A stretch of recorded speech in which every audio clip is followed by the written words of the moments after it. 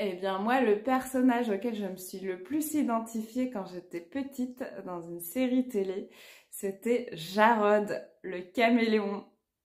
En fait, c'était euh, un mec échappé d'une entreprise euh, qui faisait des expériences sur le cerveau humain. Il s'était échappé et il pouvait faire tous les métiers qu'il voulait et, il aidait euh, les gens de cette façon-là. Et je trouvais ça vraiment génial et je me disais qu'il avait trop de chance et que j'aurais trop aimé être comme lui.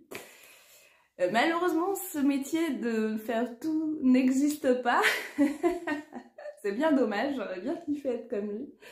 C'est marrant parce que ça aurait dû mettre la puce à l'oreille sur le fait que je ne saurais pas rester en place dans ma vie et que j'aurais besoin de faire plein de choses différentes pour pouvoir m'épanouir de rencontrer plein de personnes différentes, de visiter plein de lieux différents.